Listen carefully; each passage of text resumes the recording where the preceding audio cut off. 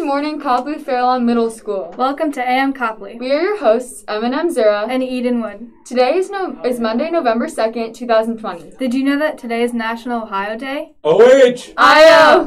Today for lunch we'll be serving chicken and waffle, vegetables, curly fries, baby carrots, fruit, seasonal fresh fruit, daily fruit cups. Tomorrow for lunch we will be serving chicken and waffle, vegetables, curly fries, baby carrots, fruit, seasonal fresh fruit, and daily fruit cups. Today's forecast is showing a high of 45 degrees with a 0% chance of precipitation.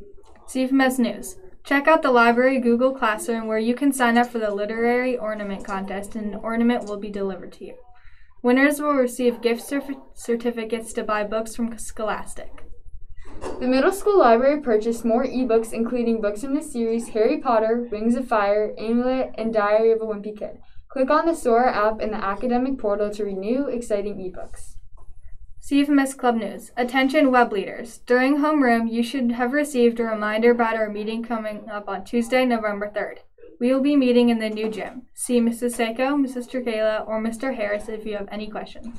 This this year's Student Council school-wide t-shirt sale kicks off today. This year, the navy blue t-shirt is highlighted by the Copley block C in white with the arrow or with the yellow Copley arrow accenting. The back of the shirt features the phrase Copley Strong, which highlights the strength that we have as a district and community have leaned on or leaned on as students, teachers, staff, and families during this unprecedented time of learning. T-shirts are $12 each and orders can be made but for any student, family, or community member will be accepted.